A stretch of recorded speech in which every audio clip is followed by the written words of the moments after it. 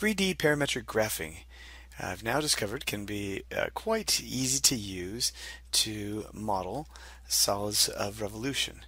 And what you can see that I have here is um, also um, did a little circle and used uh, this C, this stored variable C, and now I'll show you what I did. Alright, so this is parametric, and this one, um, the x value is, is C, and we have f1 of C to give the height, cosine of t for some of the rotation, and some filling with the uh, cosine of u. And the z, similarly, f1 of c and sine of t. Um, the parameters uh, for this one are from 0 to 2 pi, and uh, getting spun around pi took care of all of that.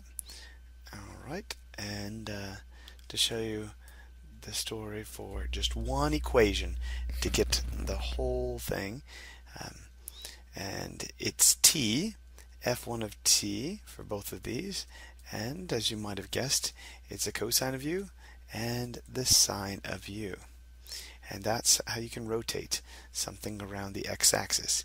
If you want to rotate it around the y-axis, just um, switch these around and um, haven't played with it enough to, to double check. But um, yeah, so you would make um, the y value the f f1 of t. The parameters on this one, because it's going from um, the on the x-axis because it's going from negative 2 pi to 2 pi that's what I did with that and spun it all the way around uh, with the 2 pi on that as well and so that's that story and it's the exact same story for this one here at the beginning of Solids of Revolution. And uh, so there's there's that one. Um, the beautiful thing is it can be rotated all around in multiples of directions. Oh, I haven't showed you this. And if you hit play, then as that little slice is moving along through there, then you can see the slice moving along through there. Isn't that lovely? Okay. So that was one thing that, that you can learn about um, or almost learn about from a, a calculus book. Um, but the next thing I was not able to learn about a lot of trial and error and I'd like to show you some of my 3D cross-section efforts. Alright, so here we are. Um, in the past, you were able to, to get a visual for what's going on by moving this around and that was nice. And yes you could uh, geometry trace. Since I right click to geometry trace then it is activated and that what I was on top of will leave a trail behind. I think it's nice to leave that dot click and that dot click. And so here goes geometry trace again.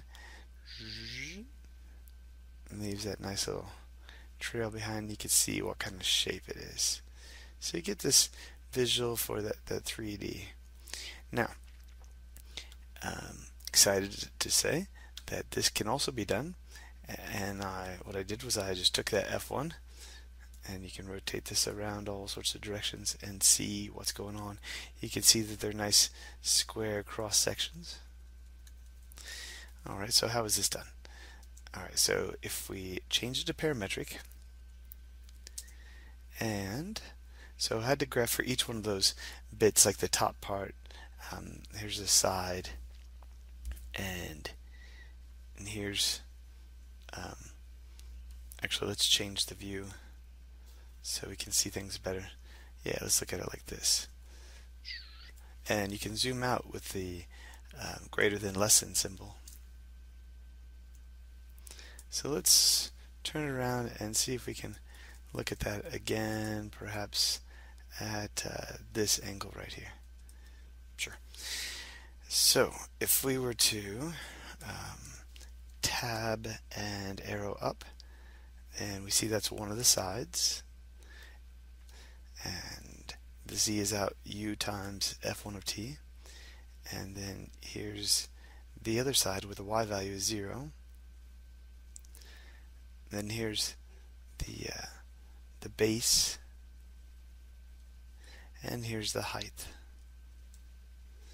Alright, so how about, let's take a look at that. Um, oh, where'd they go? There it is. Hmm. Oh, this is one I was wanting to show. Yes. Alright, so how did I do equilateral triangles? Equilateral triangles are done. Again, uh, right click and you can change to parametric. And uh, here's one side of it. Notice the square root of 3 over 2, equilateral triangle. And then there's the, the one half of the F1. And so that tells what the Y is. And then on the other side of it, then it's similar, but with a minus sign and then here's the base. Base is just t, the z is 0, f1 of t times u. So that one worked out um, nicely with that, and I was quite excited about these semicircles.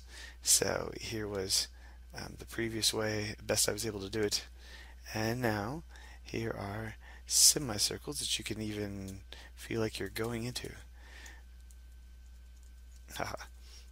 so how, how are these done? What's the equation? For the record, the equation, parametric 3D graphing. Look at that, just two equations. We're able to do the whole thing. This is the base, tf1 of t times the u, and the z is 0, and then here's the semicircles. So, um, the cosine of u and the sine of u is probably, uh, hopefully you remember that from when we just rotated it, but we didn't want to just rotate it. We wanted to, um, well, spin it, we wanted to get that um, half of a, oh, and here's the parameters, just going uh, to pi, not 2 pi all the way around. And uh, the t, since I want to go out to, to 4, then that's why it's from 1 to 4. And um, cutting in half and um, shifting it up on the y, shifting it up the y. So for example, you can see what would happen if we took off that half then it scoots it over um, too far that way. That's just a mere shifting it up.